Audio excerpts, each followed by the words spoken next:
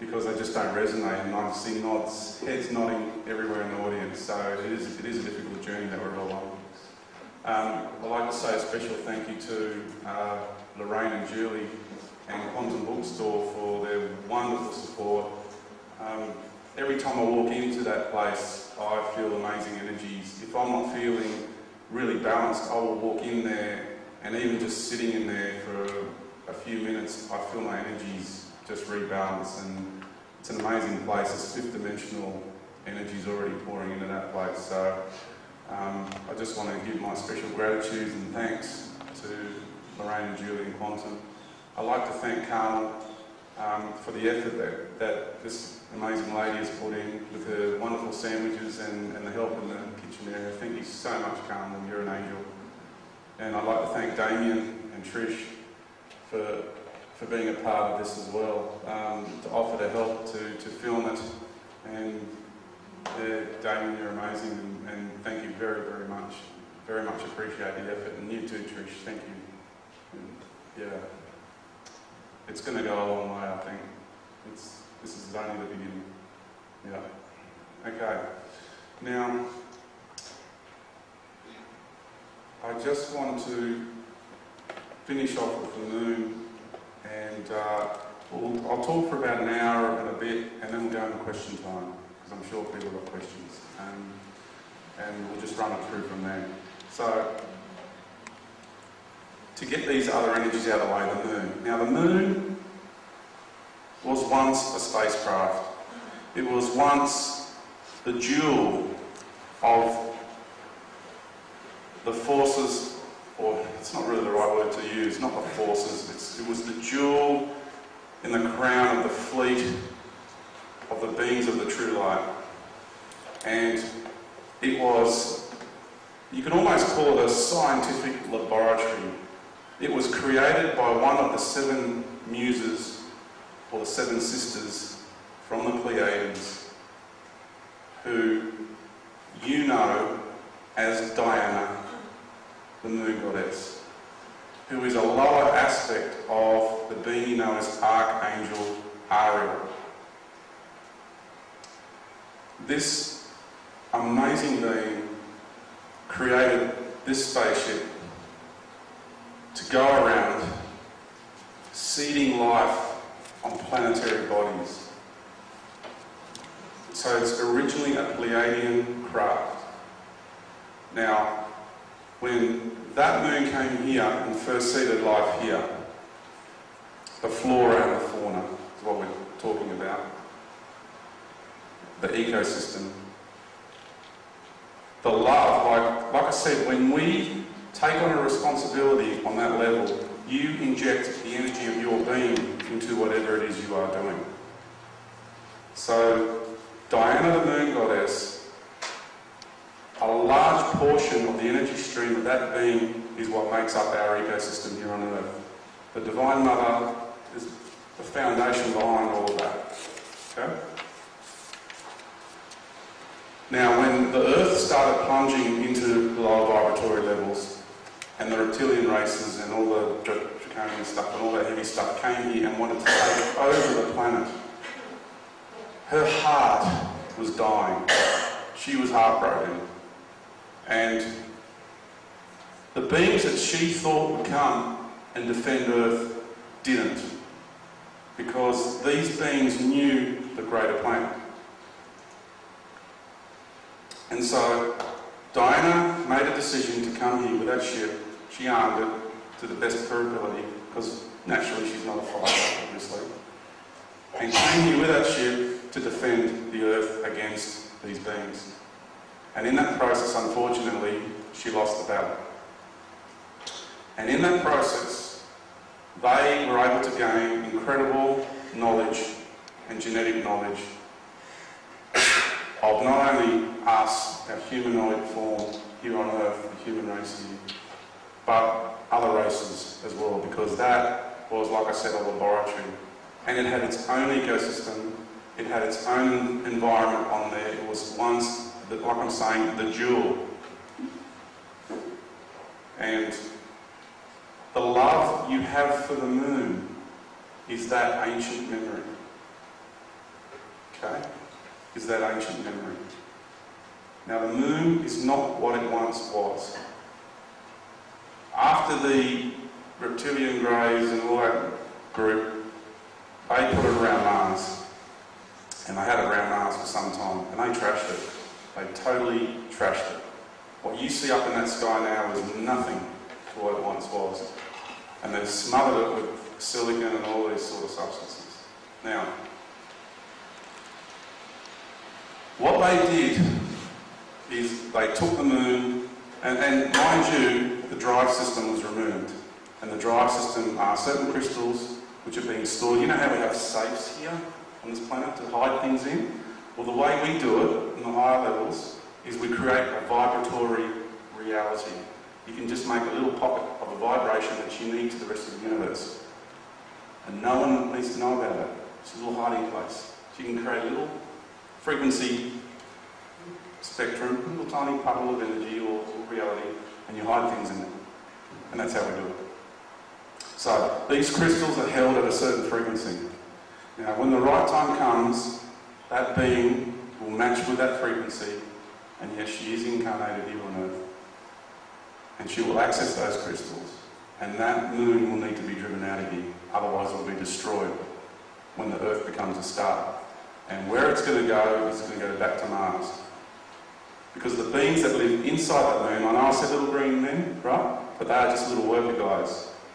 When I went there and I had my higher self come into it, I got up off the table, okay, and I'm diverting, but and I was confronted by eventually, because I went searching seeking this guy out, uh, like a draconian, and the, the physical appearance was really close to what you call the wraith on Stargate Atlantis, right? It's amazing these people that make the movies where they get their information from. Long flowing hair, and they threw everything they had at me, and the heat I could feel coming off my body. Remember, my greater being came in, and I had my protective energy in my aura, and the heat that I could feel coming off my body. And these beings were running around going crazy because nothing they did, they threw everything at me, and I'm still just walking around. I could not believe it. Because they've taken me many, many times, and all of a sudden, for me to just get up and walk around, and they can no longer stop me, that, for, tell you what, that freaked me out. So, and, and I walk through walls. You can walk through walls. Remember, we can do anything when you're in that state of being. And it's not George here, me, George, that did this. George is just a lower aspect of this individual personality for this incarnation. The greater part of me took over and did this. Not another being taking over me, my high self. Okay? It's no different to someone who's going to be in a car accident, but somehow they say, oh, the hand of God reached in and interfered and saved me by a miracle. No, it's not the hand of God, it's your hand. Because it's through your higher being that you're connected to God. Okay? So your higher self's always looking after you when it needs to. So here I am, and I'm walking through walls, and I'm seeking this guy out, and I'm confronted with him on one side of the wall, and the walls were like a like a bathroom you know, it's translucent, but it's not transparent. It had a little wavy sort of appearance to it. It's made from silicon. Right? And he's defeated on the other side of the wall, slumped like that, long hair just blowing. And I said to him, okay, now do you understand? He said, yes. I said, now I'm going to share with you who you are.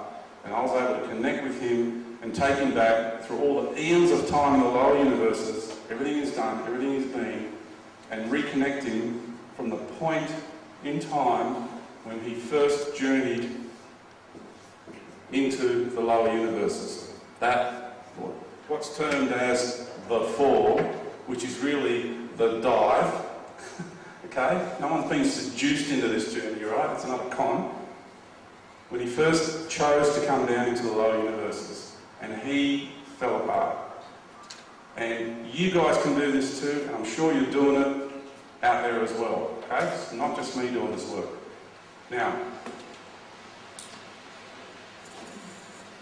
when he remembered who he truly was, I said, Are you ready now to return to the light? And he said, Yes. And I walked through the wall and I hugged him and helped heal all his energies and everything. Now, this guy in the moon was the head guy, a part of this empire, who, the reason why we haven't had many good spaceships flying around at all is because not only do they have equipment that sees the good spacecraft around and they go and target them and chase them and shoot them out of here, chase them out of here, this guy has very powerful foresight and he could see the whole spectrum of the fourth dimension. He's one of a really powerful beings.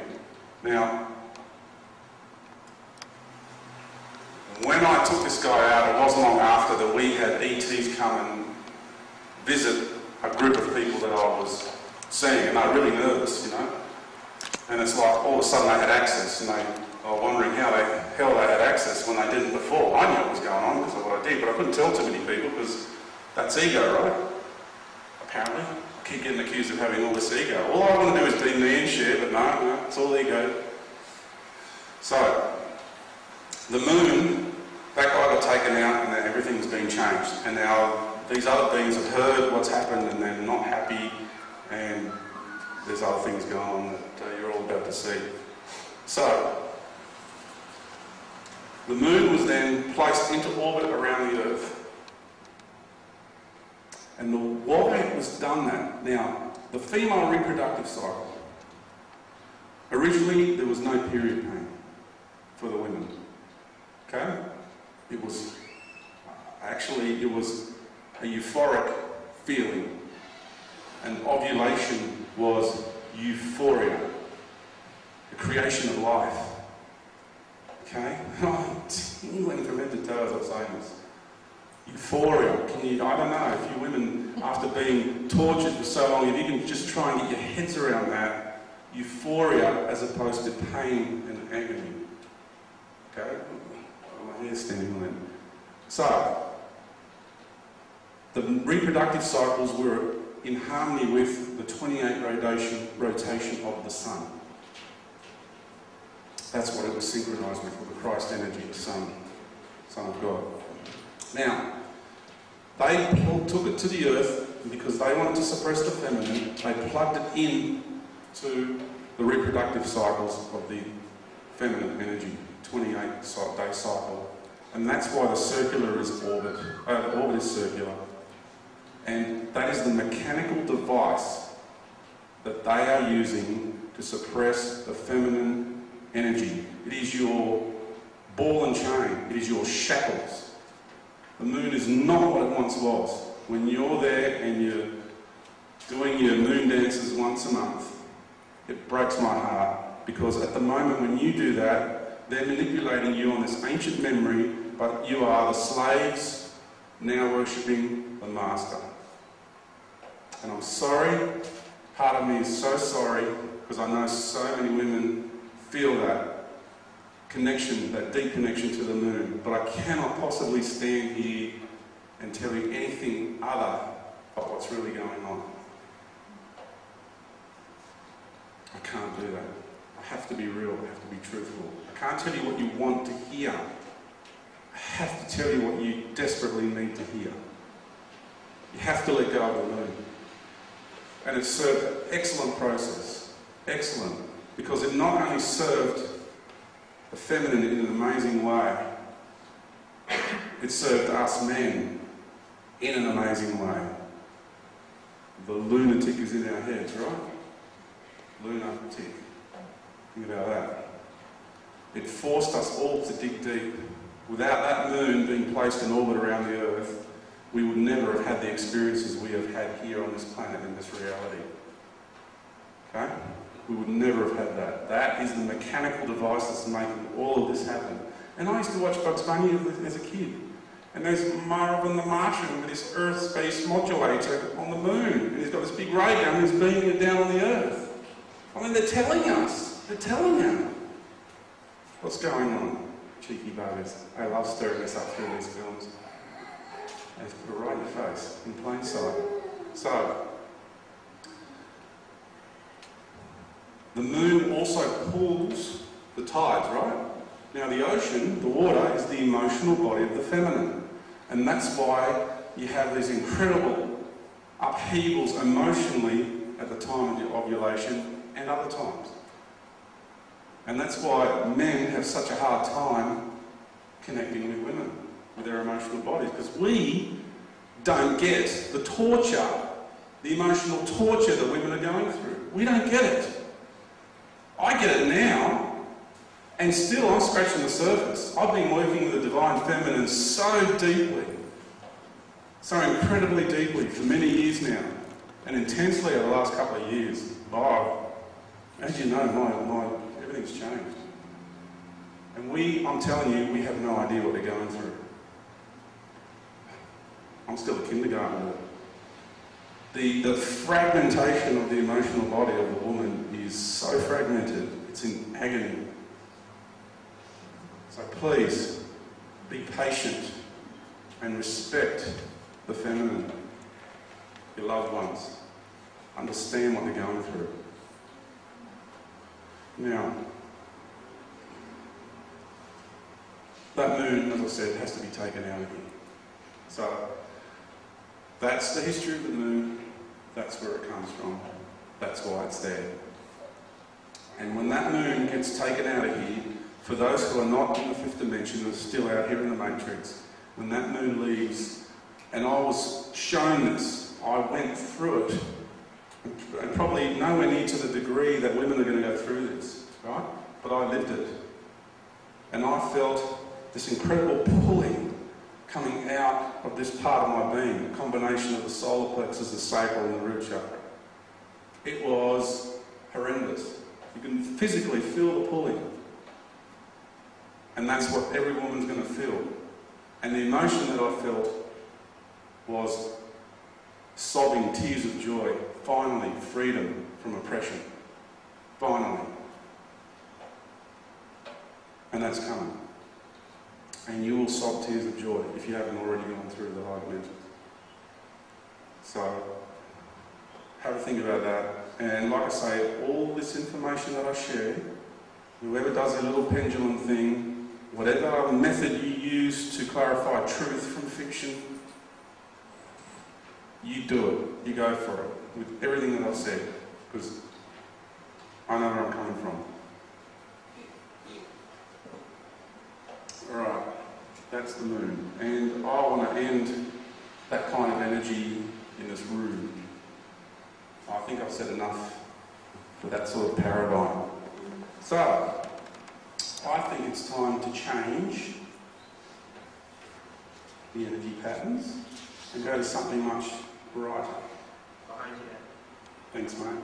Now, the ascension process has, like I said, steps to it. We talk about the dimensional doorways. So, you know, what, what are these dimensional doorways? They are essentially made up like that, as we all know. You, you're all familiar, with that side, with that symbol. And it has something to do with this symbol. Now, I, I put this symbol up on my last talk, and people are wondering, I didn't mention it, and they're wondering, what was that symbol that he drew? Because he didn't tell us what it was, because I talked about the medicine wheel and everything. This was the other symbol. This is the earth, and this is the path that we're on. And we're right about here, at the junction. And you will have three paths to choose from. You will have the path of technology, technocrats, with all their wonderful technology, amazing stuff, it dazzles everybody. And then you will have the beings of what we refer to as conditional love or the false light.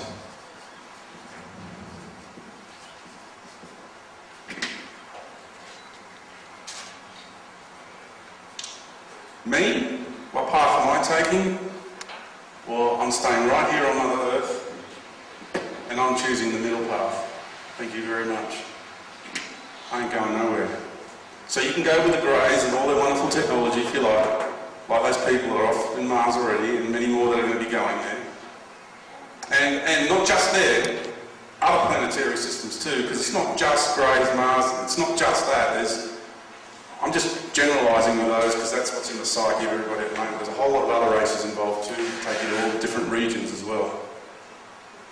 Or you can go with a false light, and I assure you the overwhelming majority will go with these guys. I travelled into the future with my consciousness, and this journey was so horrendous for me because I didn't cope very well with it at all, because um, I wasn't as evolved as I am now, and uh, I freaked out. It took me a week to get over it, to settle down with my energies.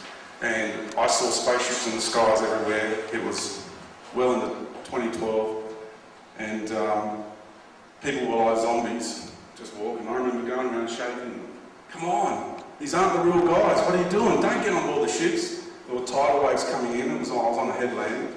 There were ships everywhere. People were just walking in lines to get on board these ships. I like in a trance. Okay? And the energy of the environment at the time was really, really uncomfortable. Okay? And that's what's going to happen to these people. That is their path.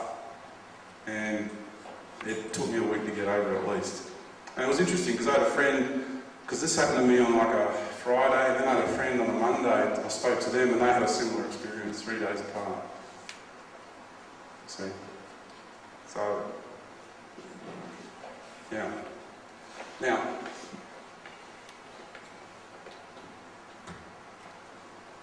you all know that this is perfect balance, and of course, you know, you wipe all that out and you're left with pretty much, right? The fish of Christianity, right? Everybody knows that, right? You see it on the stickers on the back of cars, okay? That's where that symbol originally comes from. They just haven't completed the circus. That's all it is. So the people who designed that sticker know originally where it comes from, but for the layman, they haven't got a clue. I think it's got to do with Pisces. The Piscean age. That's what I think it's got to do with. It does, because it happened in that period, but it's not the main reason. The main reason is that the womb of the mother, the almond, the amygdala. And sure, the almond also represents the flame. I know that. I'm not just focusing on one area.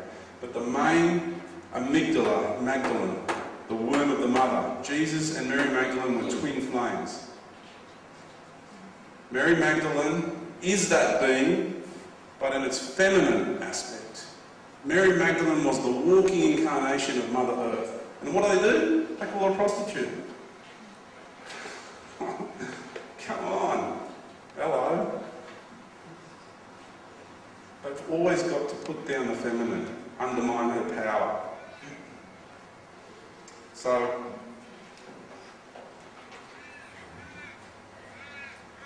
when we go through the ascension process, everybody, it, and it doesn't matter what relationship you are in, what kind of a relationship you are in, it does not matter. There is no judgment here. Okay? What you will naturally want to do inside of yourself is gravitate to your twin flame. And people say to me, well, hang on, I've got past life memories of being a woman when there's a man standing in front of me. And I'm going, well, you as an individual did not have that life. What you're blending with is with your feminine counterpart. People can't grasp the concept, okay, of the fact that as an incarnation here on this planet, that they think that there's just this body and there's androgyny. I can tell you I've been to planets where the whole race is androgynous. But only the physical. Only the physical. The expression of the being. They're divided into masculine and feminine. Just because the physical container says androgyny does not mean that they are androgynous. Far from it. Far from it. It's always got to do with the expression of the being. So it doesn't matter what body they come in. So you will naturally gravitate because you've got male and female. Christ energy is perfect balance. Okay? You're going to want to do this. It's, it's gonna, I've had people come to me and say, man, you know, I'm in this relationship, but I can feel this other woman calling me. I can feel it. I can feel it so deep. And this is what we call divine sacred union. So, you have. Remember, it's perfect balance.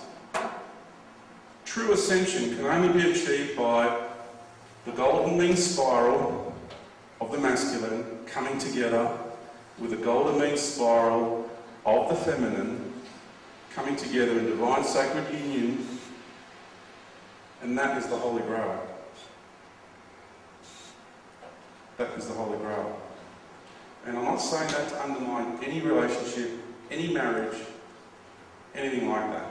It does not undermine that. And that's where the church has gone wrong because on one level they know this. But they've forced it on people to the nth degree. They won't allow people to have relationships and freedom on this world. They won't allow that. Okay? Because they're control freaks. You know that. So like I said, no judgment. Whatever relationship you're in, you will automatically have this awakening take place inside of you. And you will just know. You will look in each other's eyes and say, darling, it's time for me to go. And especially when it comes time to walk through those dimensional doorways, and you will happy, each partner will just be happy to go your own separate ways. Now, I know that's hard to take for a lot of people. They don't quite get what I'm saying. And a lot of people go, oh, you know, he's talking about the dissolvement of marriage, you know, the sacred thing. Okay? Well, Mary Magdalene and Jesus were two sides of the same flame, no, twin flames, one being. Isis and Osiris. And that's what sister wife thing is all about. Sister wife, what does it mean? When you find your perfect counterpart, that person will be your father, your husband, if you're a woman, will play the role as your father, will play the role as your husband, your lover, your brother, and your son. And vice versa.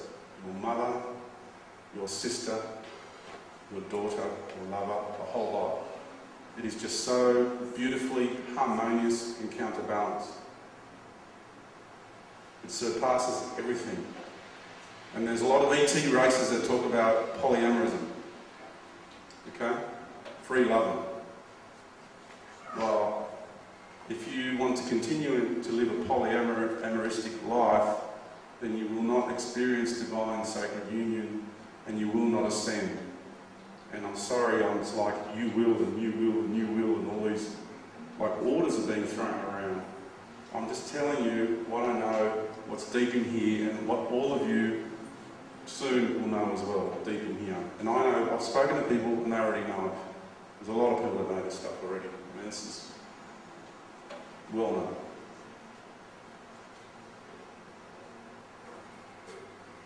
So this symbol is really important because that explains our journey into sacred union through to ascension. Perfect balance.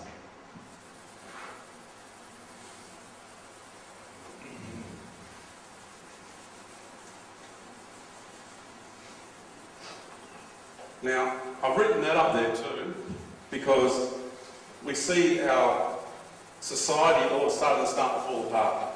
And it is, isn't it? Everything's crumbling. So it starts, you know, with the finances, the economies and all that. And we can see that the ecosystem is now starting to fall apart. And it's just going to compound and compound. But I can assure you that Mother Earth is refraining and holding back, and the majority of the earth changes, so to speak, are going to happen right at the end. Alright? So you've got time between now and then to get yourselves organised to, to get the awareness happening that this is coming. And I'm sharing this with you not to say, but my career, my, you know, the plans that I had, hey, mine too. You know, there's a lot of things that I wanted to do in life. There's a lot of things my kids wanted to do in life. And one of them's like, oh, Dad, I think I'm just going to miss out on getting my license. Like, from a teenage boy, I can tell you that's a big thing to miss out on. That hurts. That really hurts. So, for, for people who are in the know, they know what's coming, but don't stop living life. Do not stop sucking the most out of this reality because the way this reality is now, it has never, ever, ever existed before. Never in creation. There's been similar cycles that have come and gone, but never has it been so intense. Right? So don't stop living. Get out there and just suck every moment out of life. Because it'll never be like this ever again. There'll be similar cycles in the future, but never like this, exactly like this. So go for it. And Muhammad once said, if you're in the middle of planting a tree and the world's coming to an end, finish planting the tree. And I'm out there, I'm still landscaping my garden, I'm planting trees that I know are going to be destroyed. I'm not going to stop. I'm still nurturing and creating life. See, that's the process. Don't give up, go for it. Really suck every moment out of this place. It's what it's here for, it's what you're here to do. Enjoy it, really enjoy it.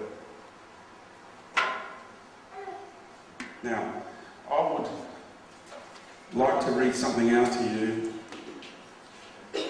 which comes from, this is a really big honour for me, which comes from our divine Mother Sophia.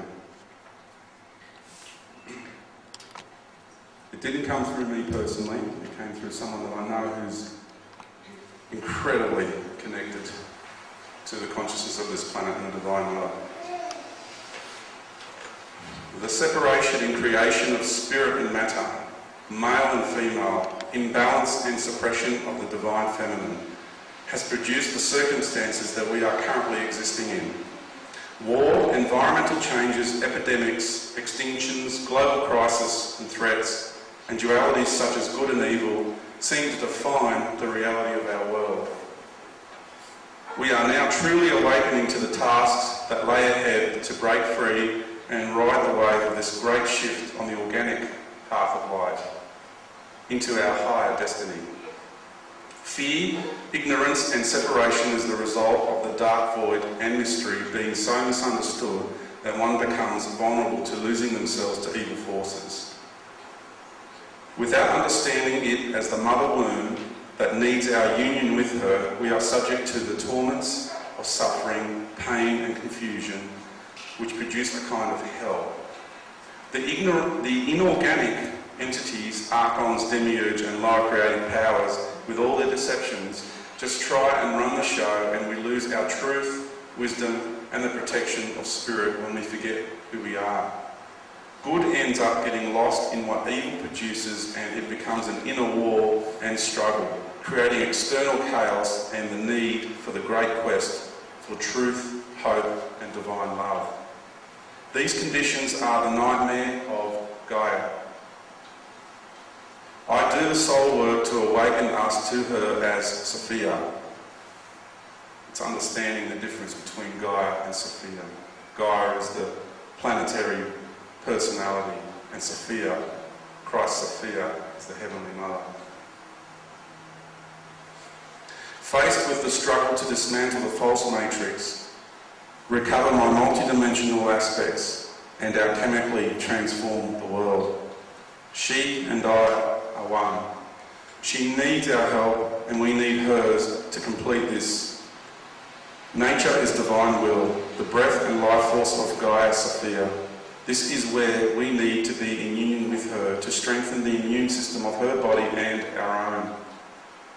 To wipe away the germs and enemy and live the true dream creating inner union of male-female and merging good with evil, light and dark, fear with love, gives us the experience of balance and neutrality, which allows the negatives to dissolve and be the regenerative kundalini force of the underworld that produces good things. The forces of darkness are therefore not denied or misused, they are simply returned to the Mother Goddess to purify and they stay underground where they belong. This is, and underground doesn't mean in the ground, okay? That's, yeah, the underworld does not mean in the crust, okay? It's, it's, a, it's a reality. This is the power of the fertile womb that can birth magic, divinity and enlightenment into the fabric of matter, drawing in the rays of heaven, the true essence of Gaia. Evil and negative forces are dissolved into the great void because the darkness is no longer misunderstood and mishandled. The dark serves you. Okay? Understand that how it serves you.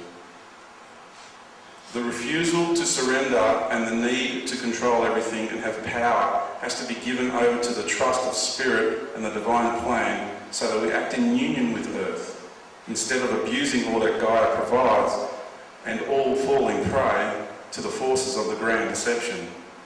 When the centre point of harmony and balance is achieved and our power becomes love and wisdom, the tree of knowledge and our soul path becomes one with the tree of life. The union of heaven, our higher self, the underworld, our deep soul, mother womb and unconscious, and the earth, our body and home, is what we all seek to achieve as co-creators. My path as Sophia has secured this for life, as I have taken the journey of the world soul that we need to assist in the completion thereof. With the will to become one with the flow of death, transformation, balance and renewal, one can shed the old voices of authority, the forces of the false matrix and the negative technologies that have tried to have power over us. We can allow destruction to transform us internally first, rather than have destruction externally try and teach us where we still have to grow. When we release the pain of separation, find the goddess within, the God goddess within, and recognize the eternal connection that is always with us, we can triumph over the forces that limit and control our creative energy. This is not physical death and destruction. It is the power that releases us from the forces that no longer serve us. Bringing love and union to the places that are in darkness and that feel abandoned, lost or forgotten is how we can emerge from our own deep sleep and then reclaim our spiritual fire and creativity. By aligning to the healing power of love that surrounds us, we can step out of the way of ourselves and become not an obstacle but an agent of the divine will. This is the intent of the Mother, who by essence unconditionally loves, nurtures and protects us. Only when we turn our back on this do we experience danger and threat and contribute to the wounds of the earth. This is the age of awakening to how we stop this pattern of destruction. This whole journey over time, the path of free will, the work of the world soul, and the intention of nature and spirit leads us to the magnificent era of which we are on the cusp.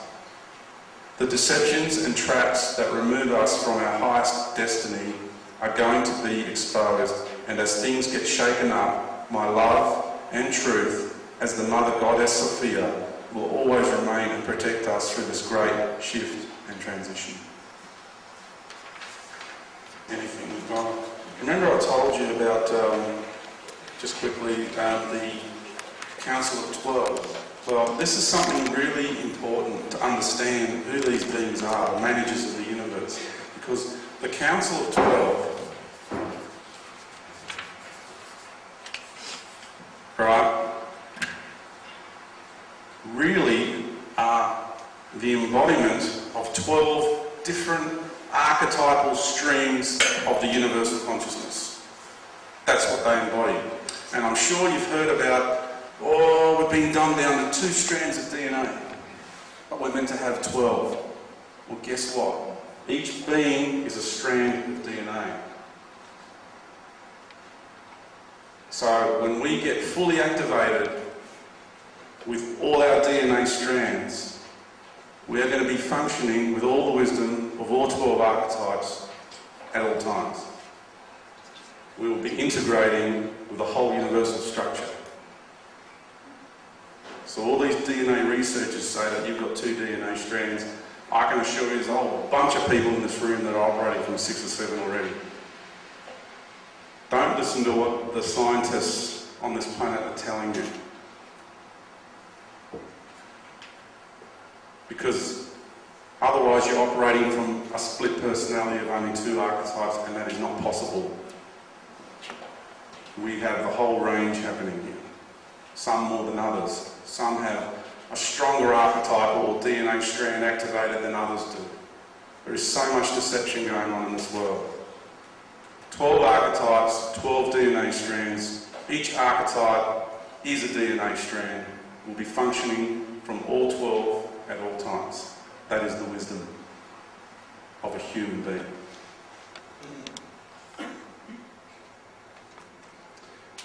Okay, just bear with me. We'll just two seconds because I've got something that's so profound I would like to share with you. People say, yeah, Father, Son, Mother Earth, I don't believe it.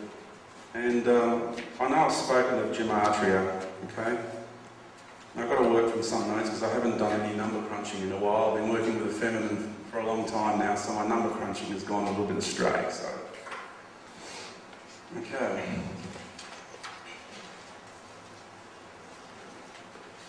Gematria is number, numbers assigned to the value of letters in the ancient Greek alphabet and the ancient Hebrew alphabet. If you understand gematria, you can decode the Old Testament and you can decode the New Testament, the Hebrew and the Greek. Okay?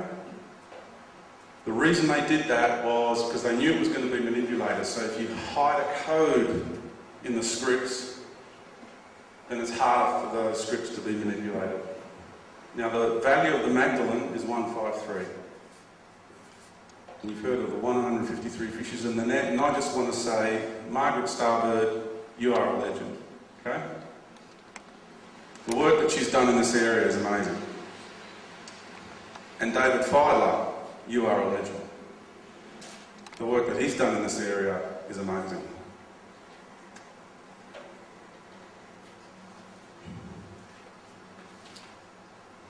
So if we, now I've talked about on my website, I can't go into the whole lot here, but on my website, all the harmonic equation is there. And this cycle goes for 24,832 years. And everyone talks, no, it's 26,000 years, 25,920 years. Everyone's using that number. And why are they using that number? Well, in the early 1900s, they calculated the precessional cycle at 25,800 years. Then in the 90s, the 1990s, they recalculated the star patterns and the precessional cycle. And then they realised it's 25,920 years. And they're like, oh, because we've got more modern technology, it's more accurate, that's it. And this is where all the main research is going wrong. And all they've got to do is search in their hearts, deep in their hearts, get past the scientific mind, logic, egoic thing that's going on with each and every one of them, and look deep inside their hearts, and they will find that this is right. Because I assure you, the rest of the universe, they know this. They know the cycle here. They know the duration. It's no secret to everybody else. It's just not understood by the people that are trapped in this paradigm and are trapped in the paradigms of the scientific world and all these studies that go on within this, on this planet. There's an acceleration, like I'm sure everybody's experiencing time speeding up, right? Everybody, the hours are shorter in the day, and they truly are. And there's an acceleration factor because we need to achieve, when you want to exit linear time, you have to exit at 90 degrees. If you want to time travel with your, like when I travel with my greater being, my greater being just exits at 90 degrees. Okay? And the time is speeding up. So for this planetary body to reach critical mass, it has to speed up. And it's spinning around the sun proportionally at the same time spinning on its axis faster. So you don't actually realise it's happening. And we're on like a J curve. It's like a log logarithmic J curve. And the acceleration factor is 24,832 years. Right? And that's the fixed timeline. Okay, from there to there, the fixed timeline. And we're on this one, which is called the illusionary timeline. That's where it steps in. And yes, it is an illusion to a, to a certain degree, but not the extent that you know I was talking about previously.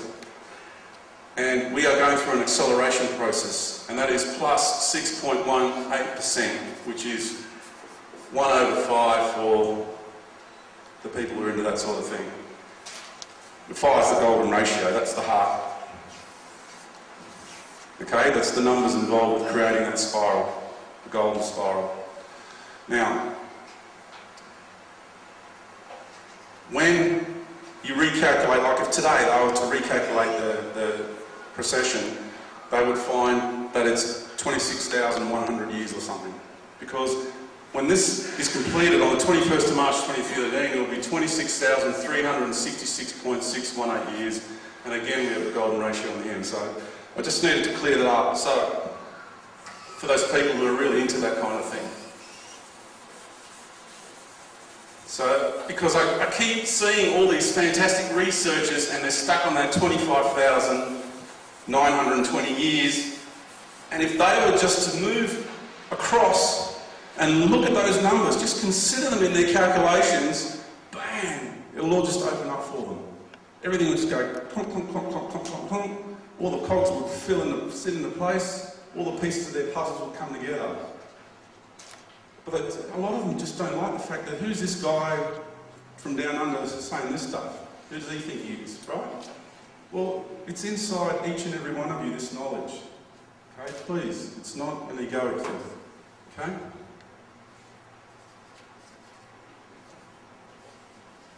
Now, knowing that that's the cycle, and knowing that that number five is the Christ vortex number. So we're basically taking the Christ energy and we're injecting it into the duration of the cycle. So the outcome of that oh, is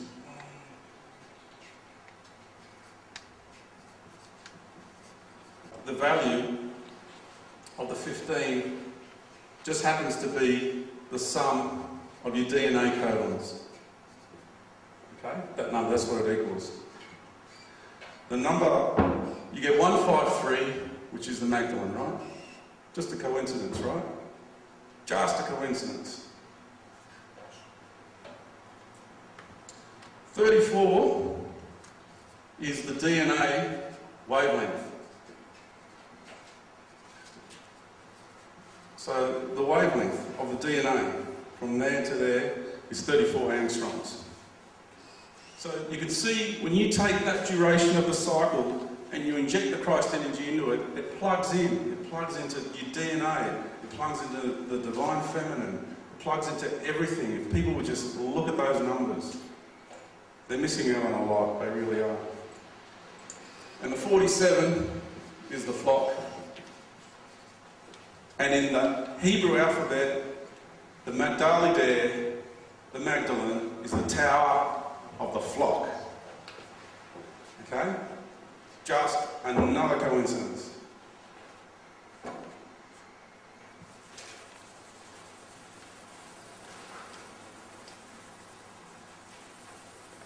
Now,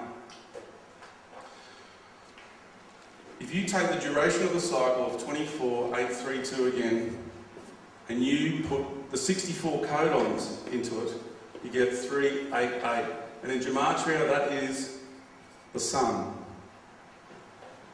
Just another coincidence, right?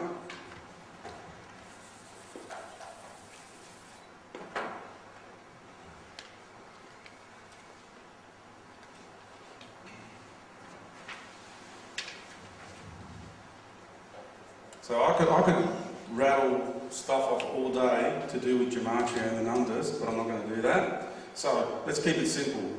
I've mentioned before that the universal consciousness has manifested itself as Father, Son, Mother Earth in order to personally facilitate our return to oneness and ascension into the golden age. So that's what I've got on my website with these articles, right? So I've got written, check this out. If people don't think that this is Mother Earth and that's Father, Son. 24832 again. And the gematria value for Sophia is 781. And the answer you get is 31.8, which is helios, the Greek word for the sun. Just another coincidence. So, let's take 24832 again And this time we'll inject into it the number 681 because that's the gematria equivalent of the word planet in Greek. And let's see what we get. We get 365. So you get the 365 days of the year and 365 is Mithras, the sun god. In gematria equivalent. Just another coincidence, right? Oh, is not real. It can't be real.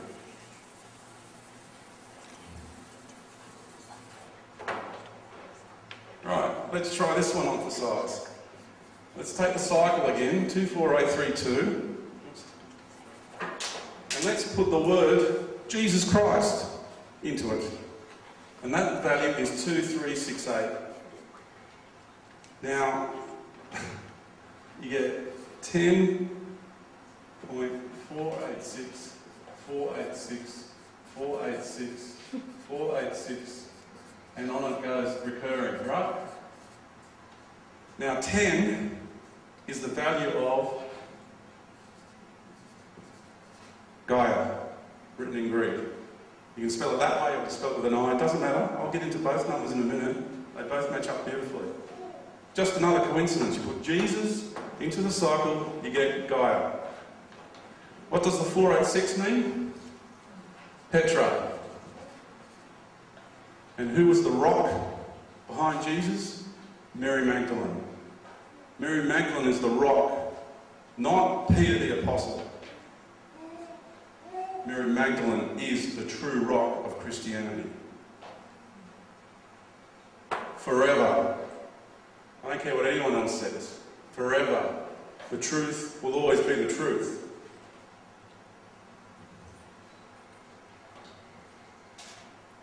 You want to break it up again, it also equals honey, the sweet nectar of life.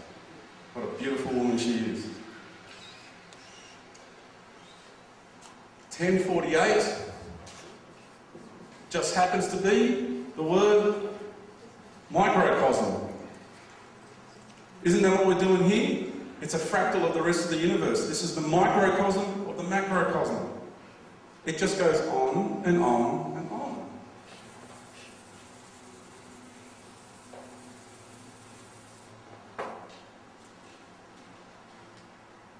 Right, let's get 781, which is Sophia, right? And let's put into it 388, which is the sun. And that gives us 2.012. There's your 2012. 886. Now, when in gematria you're using harmonics, right? You can go one or two either side of the numeric value and it still applies. It's still valid. It's like an analog, phone to a digital. You can still hear it, still connect, but digital phones, they just drop out? So we're talking harmonics, we're talking relationship. So when you get numbers that are close, it's still valid. So in harmonics, triple eight would still be valid here, and that is Jesus. And you get 2012. And 128 is 1 from 127, which just happens to be, oops, 127, for all those number buffs, equals the square root of phi of the Christ vortex. It just goes on, folks. And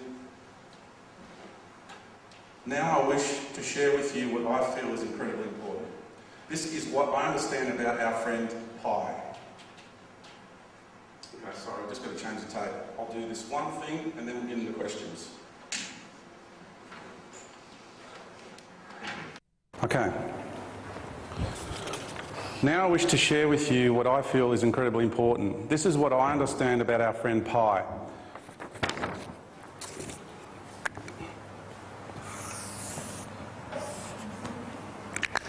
Okay, you, I'll read it out. Pi to me is about the relationship between the masculine, the feminine, which is the circle, and the masculine, the line. It is the divine ratio of our Heavenly Mother and our Heavenly Father.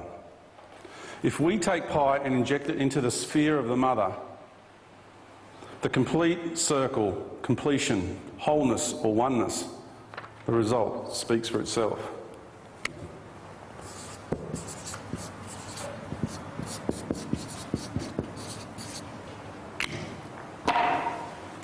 You just can't.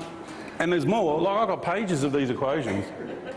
I could just keep going, but I don't want to do it to you. I think I've made my point. Okay? I think I've made my point. You can't, deny it any longer. Well, you can. You can live in denial of it if you like. But I mean, it's beyond any sort of coincidence. It's ridiculous. All right, so question time, everybody. Please ask me anything, don't hold back, go for it. And if I can't answer it, I will. I'll do my best. Yeah, we're going to bring around a mic for you. Yeah. Uh, with the ascension process, Yeah. uh, obviously you're an adult, you choose what you're doing. As parents, Hmm. uh, you can naturally ask, okay, what happens to the children? Thank you. That's a really good question because I've gone through these issues myself as a parent.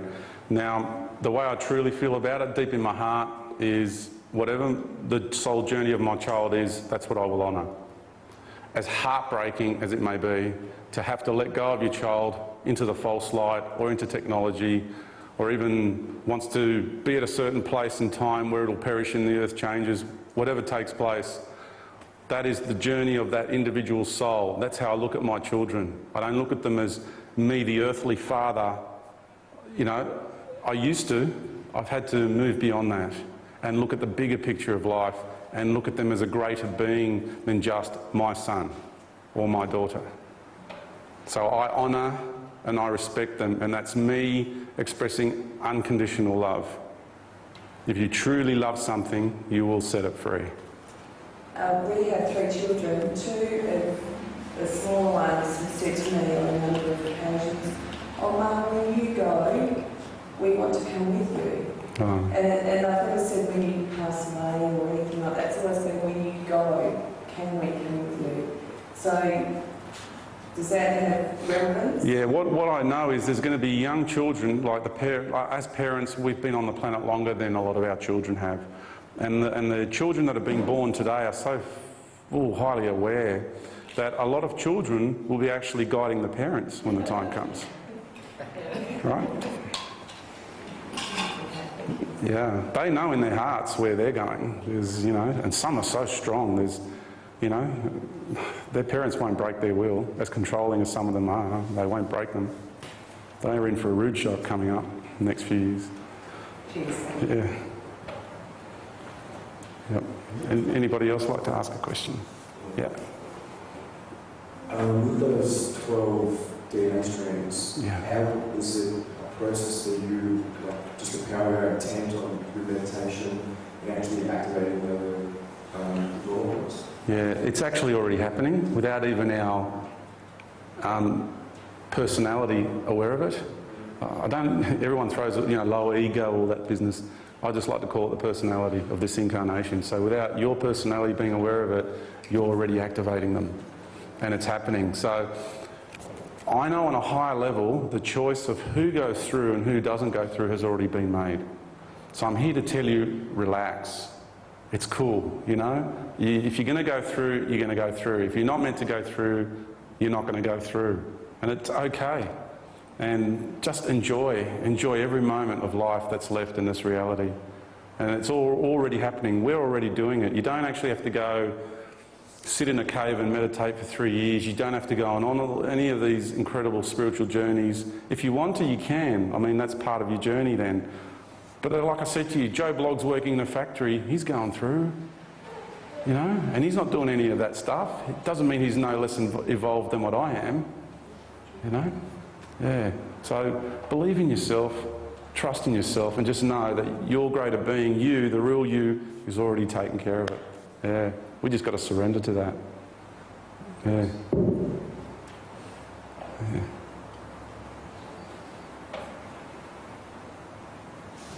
Um, when you said that you've got the three choices of where to go, the Mm. paradise or the false light, Mm. and you said you were going to stay here. Yeah. Right. So does that mean that when the Earth turns into a star, that you perish with that, or No. happens? No. I a bit of. Sure. What happens is dimensional doorways are going to open up all over the earth. And that, that is what this represents the womb of the mother. These are the dimensional doorways that will, it, like that's a, a symbolic version of what's actually going to happen.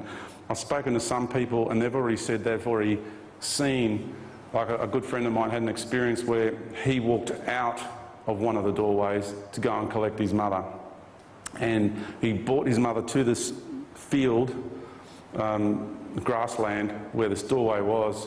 And he says, Come with me, mum, in here. And she's going, Where? All I see is the paddock, you know?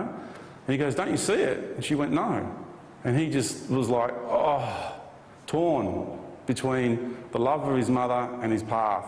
And he had to let go of his mum and turn around and walk through that, back through that doorway into Avalon. So we're going to walk through these doorways into Avalon. And once we're on that level, we're in sanctuary because we're above the lower vibratory levels of the third and fourth dimensional stuff that will take place here. Those dimensional doorways are a pathway to sanctuary. Right. And so the, when the earth turns, it's like that three month when the earth turns after you walk through the doorways. Yeah, yeah. Because she'll be cleansing herself on this level, but when the actual time, like earthquakes and tidal waves and everything, because you've got to understand when you're in the fifth dimension, there is no steel, there is no plastic, there is no electricity, there is anything like that. She's, she's got to return her body back to the fifth dimension. So she will crush everything. Like if there is a steel tower on the top of Mount Everest, that will go. So everything has to go. Yeah. And then we'll prepare for the ascension process, which is that activation of the starlight body, and that's when the outer crust melts. Gone. Yep. And we go into this higher vibratory state. Because when you travel to the sun, this sun, or any other star, like where, where I come from, from Sirius, is one of the stars. That's actually a planet on a higher level. You see? It's just that it's vibrating at a higher level, but you see it as light. That's all. The, the sun here is a planet too. I've got friends who have travelled there and read scrolls and spent time there and journeyed there. People have gone through the sun because it's the doorway as well. It's the Stargate, it's the real Stargate, you know. And this planet is now the Stargate. This planet's becoming a star as well. And that's with the feminine taking that plunge into the lower universe universes, that sacrificial journey, and then coming back up in divine union to be equal with her loved one once again, vibrating on the same level. That's why she's turning into a star. It's, it's the return back to her loved one. There. Yes, Simon. What you only see is the stargate with the uh, sand, that's all. The Um, kind of sand will not- Yeah, well, um, I've got friends and myself personally who have travelled through the sun already and taken that journey many times with our higher consciousness. So when the time comes and these doorways, you, you will just be automatically in here, you'll just be guided to go somewhere and walk through.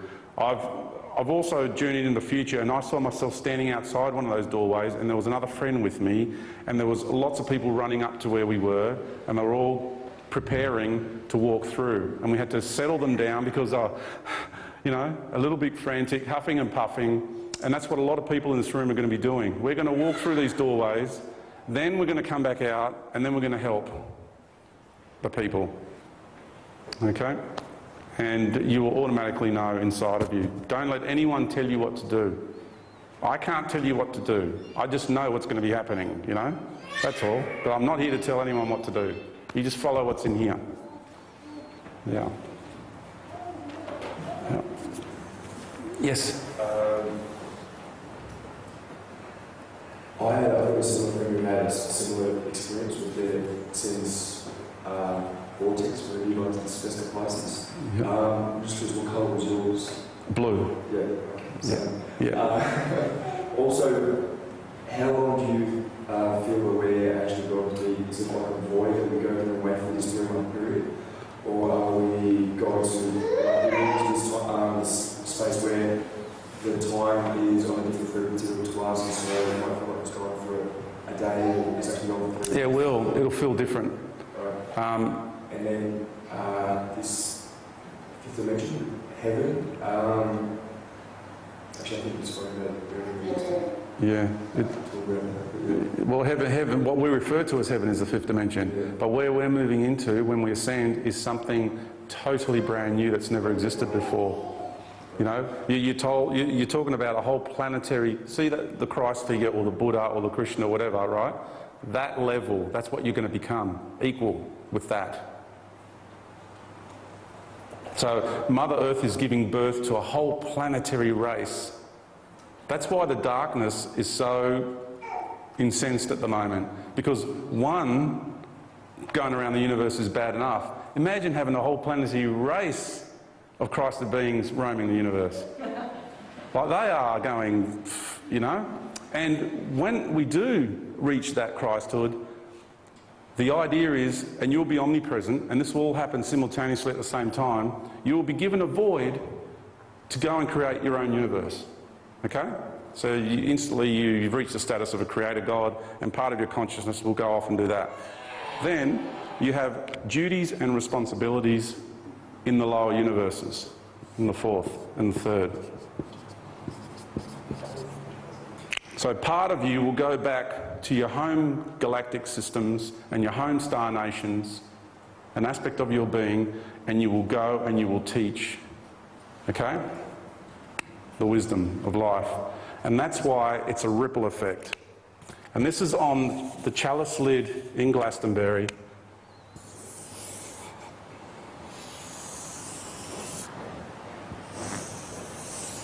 And of course, every symbol has a multi-dimensional meaning, and I'm just going to give you one that I think is really important here. If you look, when you throw a stone in a puddle of water, you get the ripple effect that goes out. So here's the sun, and here's the earth. And when they become two suns, the energy beam of each one will ripple out. And eventually, this part here grows, grows out and out, this beautiful balanced state here. And so you've got the twin flames in here, which have merged and become one. And then as they go out, they grow and they become one big ripple, and that will go out. And so the effect of the fourth dimension, when this transpires here, it will have a ripple effect, not only energetically, but practically, pragmatically, functionally throughout the whole universe. What's going on here on this planet right now is the process of creating peace, is bringing all the separation and all the pain and all the suffering to an end. The ripple effect. Yep. Anybody else got any questions? Anything at all? Feel free. Otherwise, I'm going to start talking again. You don't want that to happen, do you? Um, on your model of the dimensions, Yeah. um, what what level is a star on? Like as, as, a, as a sort of fractal down, Hmm. as we look up at the stars, what dimension your model are they in? Um, s- some are fifth. Uh, the lowest one's a fifth. Yep. That's as low as they go. In, in my model, in my understanding. I could be wrong, but that's how I see it. Yeah. Yeah. And just so you get an understanding too, um, I've recently come across um, a mantis being who is part of the Orion League. Like the higher aspect of this being is the star you know as Rigel. And it's interesting because, like, you know, the, the, the mantis beings and these type of insect beings were the fir- very first physical structures that lowered down into the, that came down into the lower universes. Because the reality was really harsh. So that's why they had this really tough external shell to accommodate life in that harsh environment. So the understanding is that this being on another level is that star. And it's interesting because it's not only an insect being, but its star vibration attracts insect grey races as well, the Rigelian greys. So it's really interesting to understand the structure of our galaxies, of our universe, and how when your being resonates, because that's what we call gravity, right? We gravitate, your soul gravitates. People don't understand gravity. The scientists go and scratching their heads, we don't understand what gravity is. Well, it's really simple. It's the law of attraction. That- That's all it is.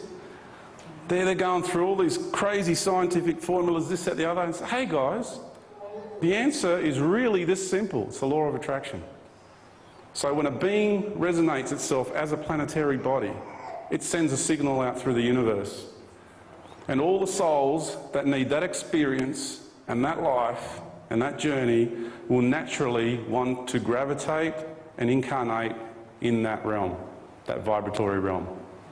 It's that simple.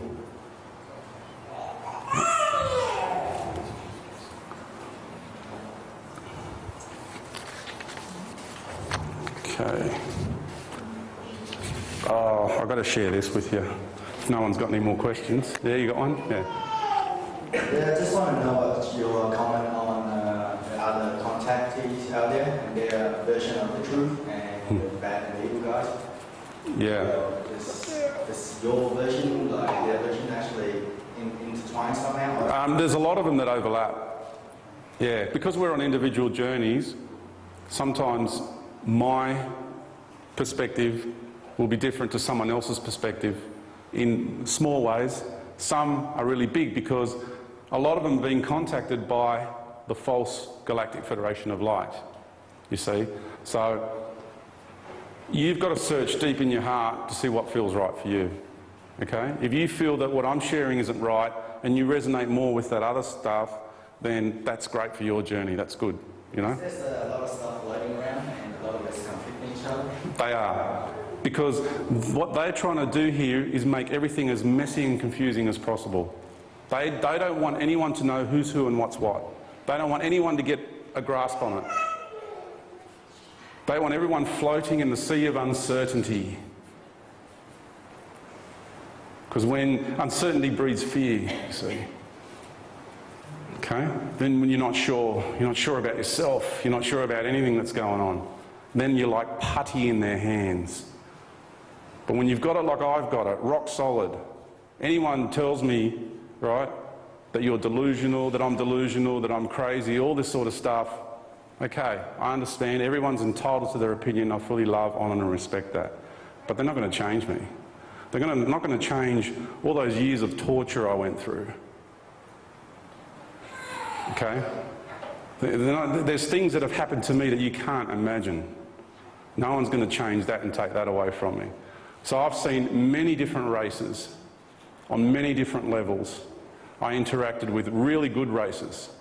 Some of the mantis races are the most incredible beings you'll ever meet. The wisdom, trillions and trillions and trillions of years of wisdom. So much love. Okay? And then there's evil ones too. Okay? So you, the, the best way to distinguish is what resonates in here. That level of discernment surpasses everything. Make that, and I'm sorry I'm going to say these words, but it's appropriate, your bullshit monitor. Okay? Make it that in here. And not, not the heart chakra here. I'm not talking about that chakra. I'm talking about the one up here. Okay? Because we're integrating all seven into one. You'll see Buddha and Jesus, big chakras open on the chest here. This is what I'm talking about. Okay? If you, if you want to go home and do a good meditation, right, you just sit there quietly and put your hands here and press in here and focus your intention in there. Don't worry about traversing the universe, you go in here. Okay? Jesus said, Buddha said, the pathway to heaven is within. You go in there. That's your connection to your higher self, to your God being. Okay? It's above, yeah. It's, it's pretty much about where the microphone is. You feel it. You, you can press in your chest here, and then you'll just touch a spot, and it's like, oh, it just feels different to everything else. Okay? It really does.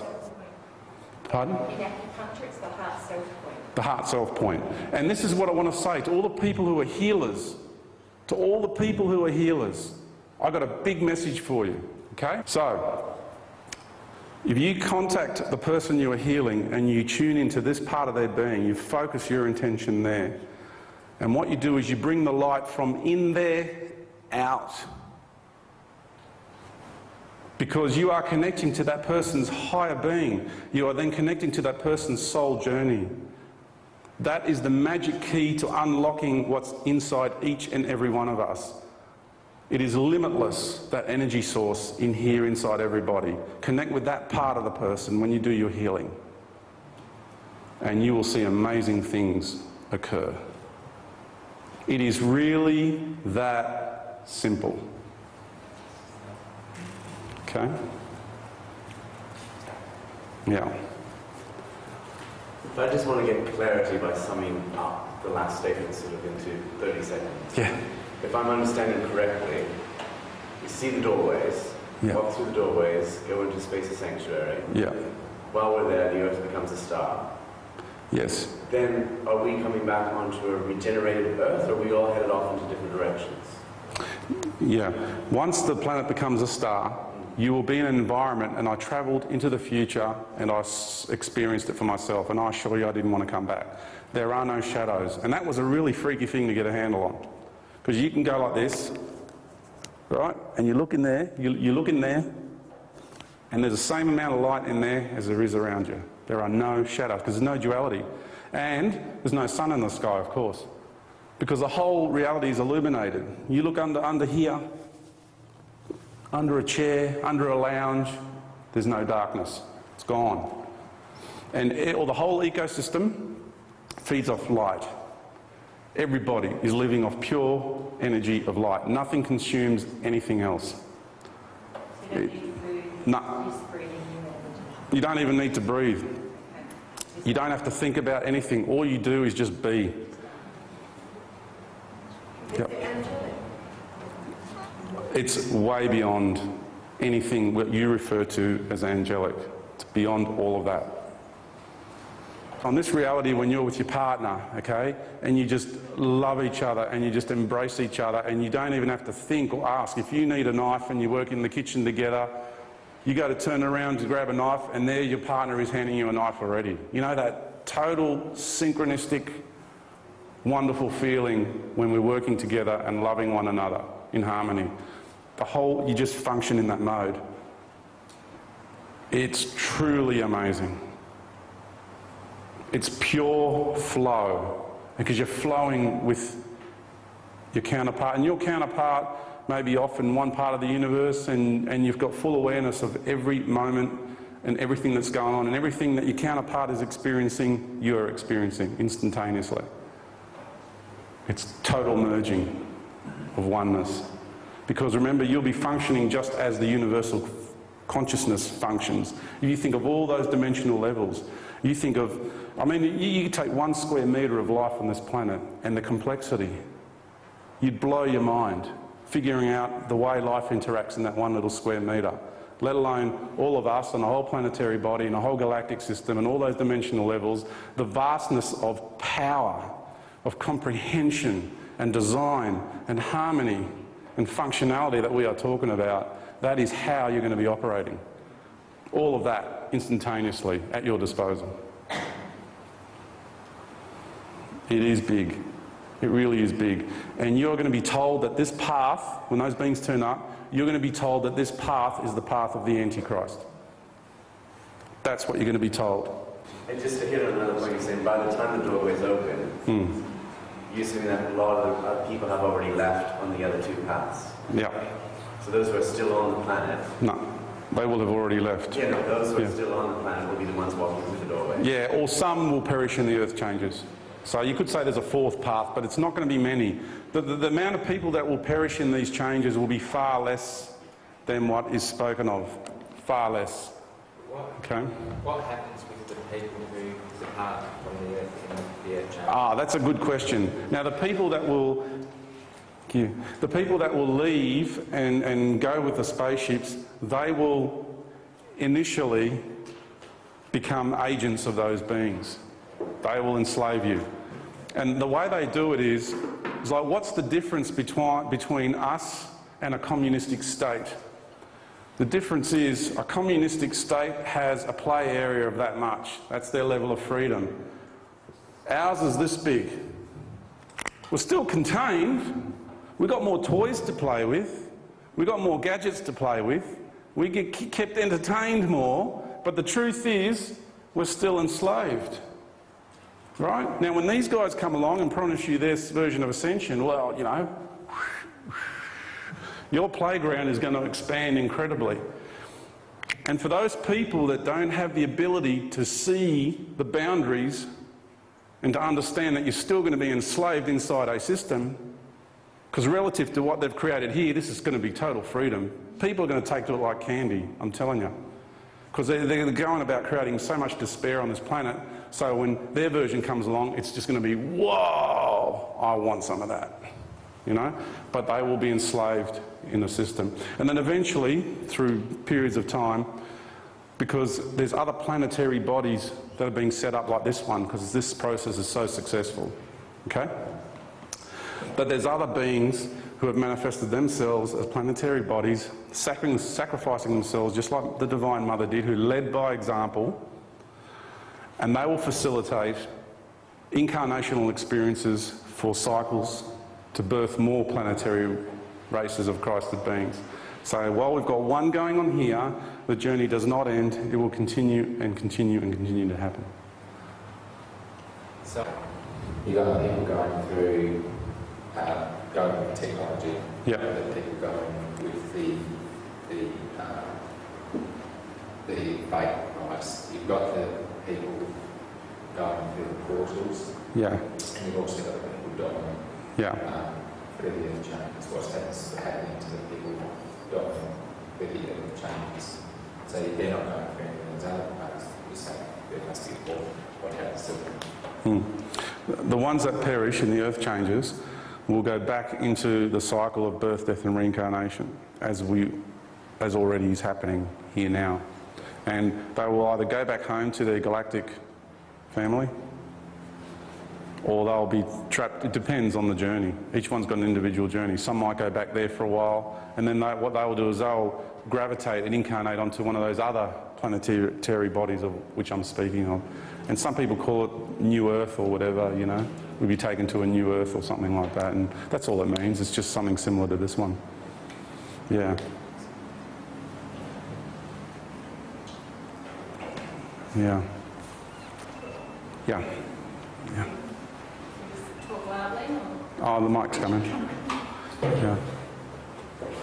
I think for recording purposes, it's better through the mic. Yeah. Um, I was just wondering, how do you ensure when you are healing and you are channeling, you are connected to the right kind of light and the right kind of things? Yeah. I would say just do your best. Just trust in yourself. Um, I know some really powerful healers, and they do modes, their modalities of healing I don't comprehend. Okay, I don't comprehend it, but something inside of me just trusts, just feels right. Okay, so like I said, when you're actually healing the person and you're asking permission to do the healing on the person, which is, of course, you know, everyone should do that. Focus your intention here when you do it, in that person. Okay? And when you bring the light, activate the light from the inside out, because that's what we're doing. We're turning inside out. I, I'll, if I want to find peace and I'm feeling troubled, I'll sit down and I'll bring like this liquid golden light from in the centre and I'll just fill up my body with it. You know, and it just, you can feel it pushing out all the things that need to be pushed out. You know, we've all got attachments. I've still got some attachments happening. If I didn't, I'd be shining a great light. That's the reality. So we've all got stuff attached to us. Still got lessons to learn. But, you know, we're purging them one by one. They're coming out of our systems. And um, believe in yourself as a healer. Trust in yourself as a healer. And just think about it. Well, if, if, if you're healing and you're connecting to an ascended master and using that being's energy to do the healing, I would be thinking about that one. I'm not saying it's wrong, okay, but I would be questioning that, okay?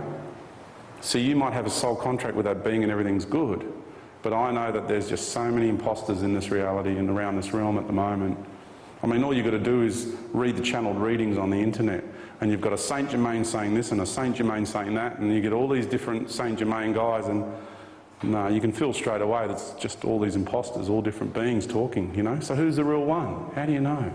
You know. So trust in your heart. Trust in your heart. I used to say the highest, and then sometimes you say divine, but I'm not sure whether, because you were saying the, um, whether the highest will still refer to this, the galactic of light or something. I don't know. I guess you just want to make sure you're right. Yeah, just focus on the Christ centre of the being. The Christ centre of that being. The seed. It's a fractal of the sun out there. You've got a small one of those in here. Everybody's got one. Okay? And focus on that. And just you, when you look at it, like I could, I could look at every person and I could see their sun. It's sitting right here inside everybody. Everyone's got it. It's all shining. When I talk to people, uh, my friends will tell you this. I'm not just talking to your personality. I'm talking to the whole lot of you. You know? I always look beyond the personality and the physical body. I look into the being. Okay? And I can see when entities are working through them and manipulating them to give me a hard time as well. Okay, that's happened a lot in my life. A lot. Yeah, nodding your head. Yeah, there's so many people that experience that. They make your life hell. Relationships like with brothers or sisters or husbands and ex-wives and ex-husbands and you name it, parents, whatever. You'd be surprised how they've been manipulated because if they have an issue with you which is that big, these beings will make it that big. Okay? Yeah.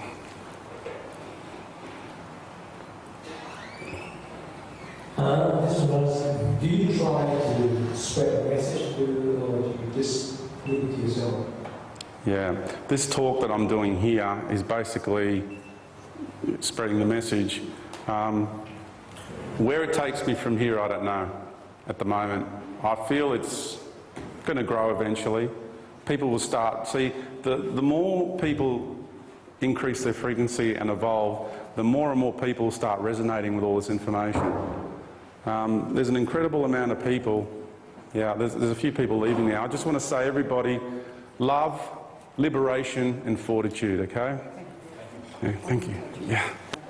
Thank you very much for coming. Thank you. Um, I feel that my path is taking me somewhere because this is what I'm here to do. I'm, I like.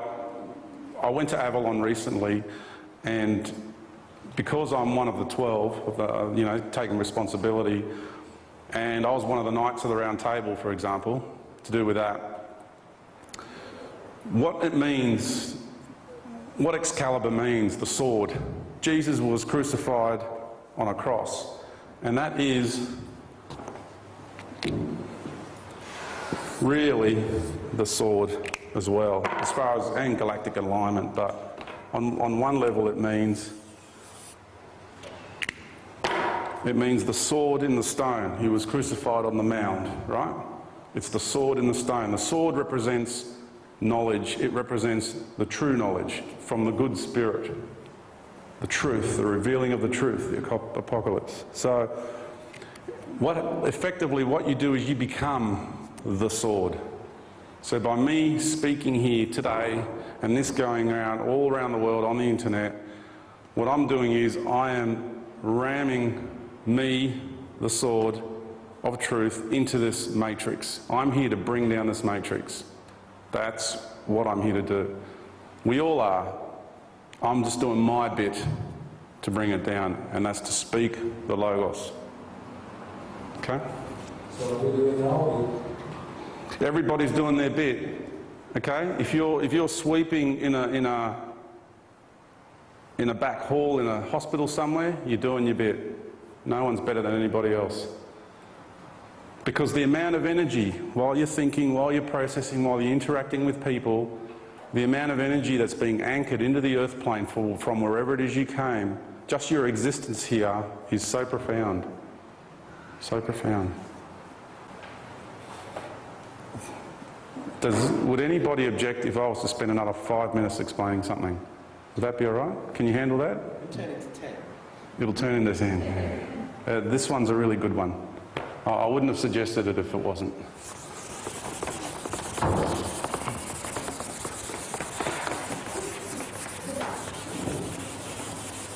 So I think it's important to get this one on the video, that's why. Okay, we have the DNA wavelength, okay? The vibration of the DNA. So, like I said, from here to here is 34 angstroms. Now, if you take the 34, the wavelength of our DNA, the vibrational pattern of our DNA, and you inject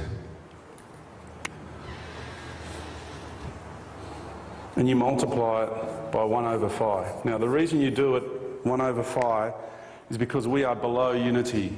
So we're talking about the Christ energy below unity, below, below the Christ unity, un- underneath oneness. Okay? This is where we're at now. So when you inject that into the DNA wavelength, you get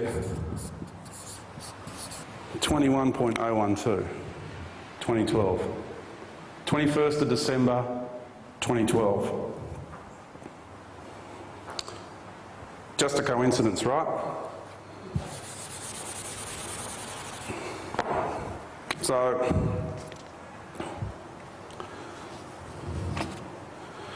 let's now take the DNA again after 2012, when I said once we're in unity and oneness back in heaven, right? Let's inject the Christ vortex into that level of our DNA. The answer you get is 21st of March 2013. Now, if you want to call that just a coincidence, you go right ahead. But to me, that's a slam dunk. That's when the planetary light body gets activated, 21st of March 2013. So I'll finish it there. I just want to say thank you to everybody for coming along. I want to wish you all the love, all the liberation, and all the fortitude to each and every one of you. Thank you very much. Thank you.